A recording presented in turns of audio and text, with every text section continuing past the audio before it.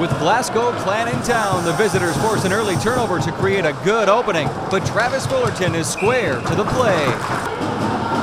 The Flames attack the other way with speed, and a John Dunbar centering feed is dangerously redirected by Cruz Reddick.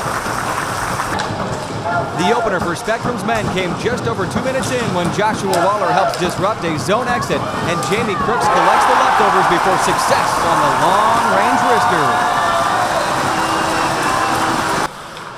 One of the Clan's better period chances comes on a Mikhail Gutvold shot to the net that drops right on the post, but they are unable to put it away. Trying to extend, Jesse Craig crosses to Callie Eckert, who gets it on goal, but Joel Rumpel tracks the deflection and hangs on.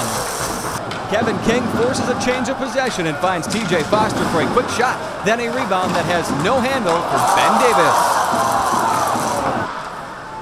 Davis and Reddick give and go through the mid-ice before the latter gets it to the net for a high rebound that Ian Waters grounds and nearly shovels home.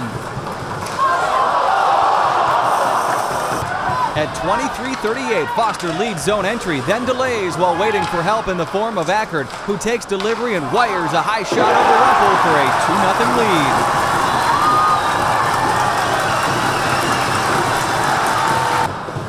Side make it a three-goal margin around the halfway mark when Foster and King relay the puck in front to Davis, who shifts and slips it into the open space.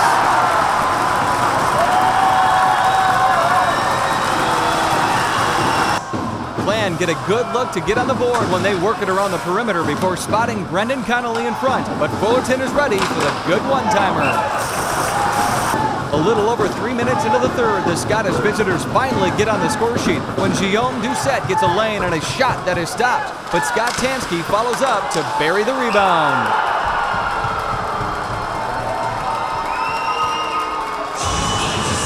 A nice looking effort to restore the three goal difference is foiled only by a post when Jamie Crooks and Jez Lundeen make a quick back and forth exchange for the near miss. Unfortunately, Clan had success on their next opportunity to make it a single goal game when Connolly bides his time before darting inside and moving it over for Tansky, second of the night. Under pressure in the last minute and with Clan at six skaters, the Flames secure a 4-2 win when they get control where Waters and Reddick move it forward to Dunbar, who drains the 60-foot puck to close out the evening success.